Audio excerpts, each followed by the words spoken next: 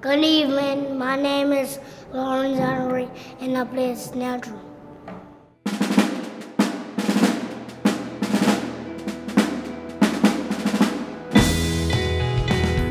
I started thinking about roots music when I was at, at in junior high school. When I was at Andrew J. Bell, my junior high band director showed a special interest in, in myself.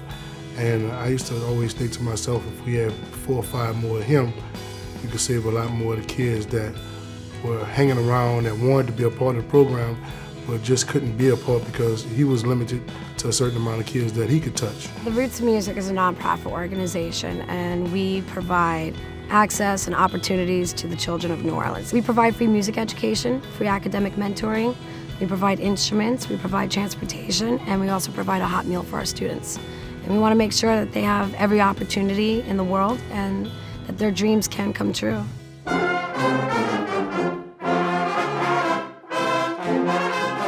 Children of Roots Music represent New Orleans, every dangerous neighborhood, everything that's bad that we thought we didn't think about after Katrina. You know, we were thinking about a lot of stuff of rebuilding and uh, getting our lives back together, getting the lights back on, getting you know the economy back up, but we didn't think about our children. We didn't think about what the children needed to get back to their normal life. When the arts are taken out of school, you take something out of the child. Uh, their spirit to, to, to be free, to be able to create, to enjoy life. The creative force is, is not something you can just stop or just turn off and on. It's a, it's a very specific and, and lovely part of our beings that needs to be nurtured. Kids need an outlet, you know?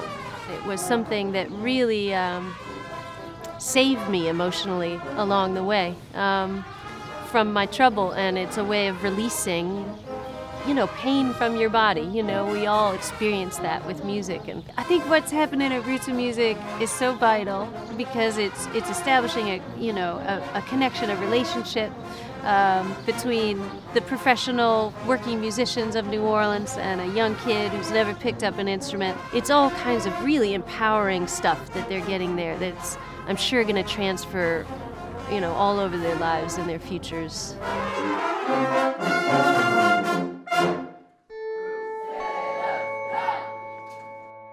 The whole idea of education is to expand and broaden opportunity.